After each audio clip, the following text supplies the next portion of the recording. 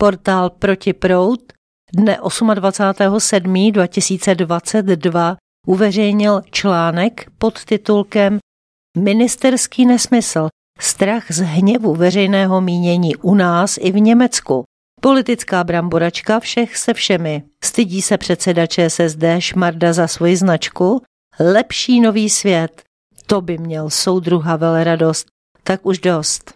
Autor článku Ivo Strejček se zamýšlí nad nekončícími v uvozovkách pošetilostmi, kterými nás zásobuje vládní bruselská pětikoalice a konstatuje, že je pět minut po dvanácté, aby někdo bouchl pořádně do stolu. Horší už to být nemůže, napadne člověka s každou odcházející vládou.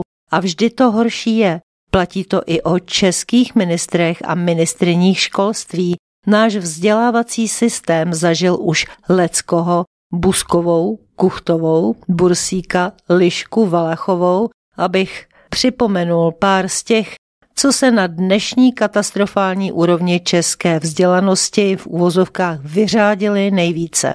Potitulek Ministerský nesmysl. Představit si po těch zkušenostech ještě něco horšího to dá práci. Zdá se ale, že post Gazdíkovský ministr školství v úvozovkách z uleknutí Baláš to dokáže prohlásil. Žáci jsou přehlcováni znalostmi, které pak neumějí aplikovat, takže se možná omezí počet hodin. Rád bych škrtnul první vyučovací hodinu.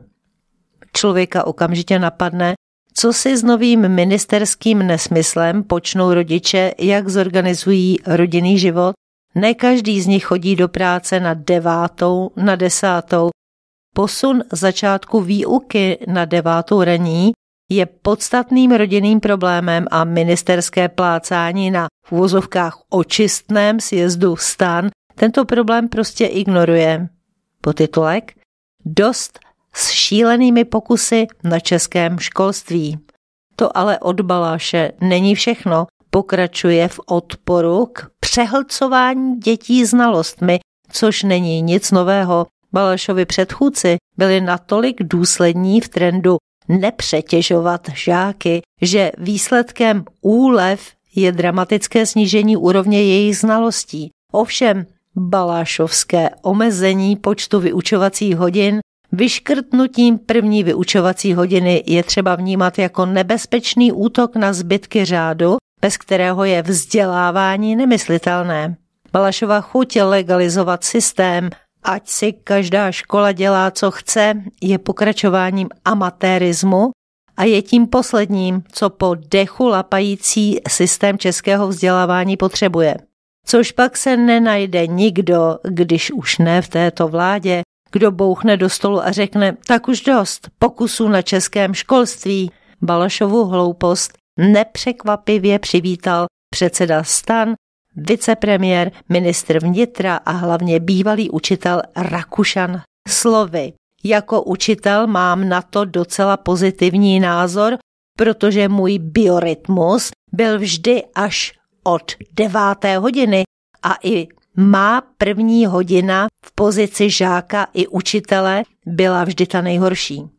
Bylo by zajímavé se dozvědět, v kolik hodin ráno začíná Rakušan na ministerstvu úřadovat podtitulek Strach z hněvu veřejného mínění.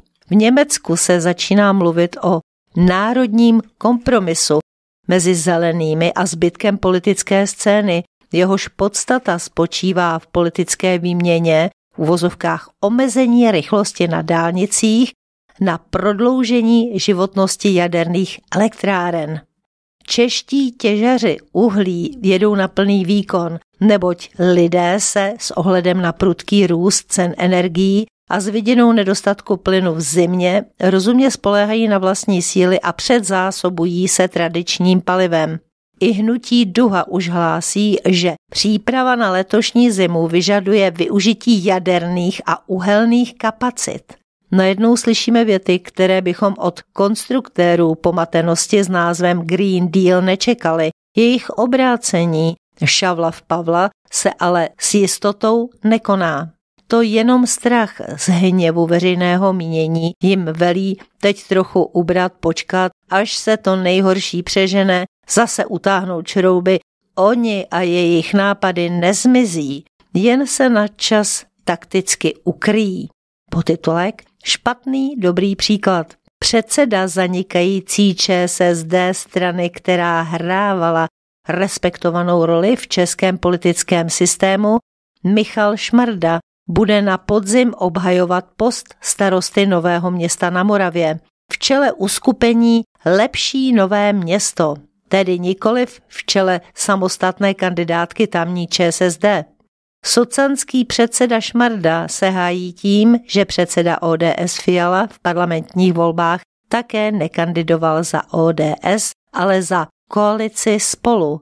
To si ale Šmarda vzal špatný dobrý příklad. V uvozovkách rozplynutím se v koalici spolu ODS rezignovala na politickou samostatnost, potvrdila ztrátu své politické identity a dobrovolně se vzdala vlastních autentických a sebevědomých témat.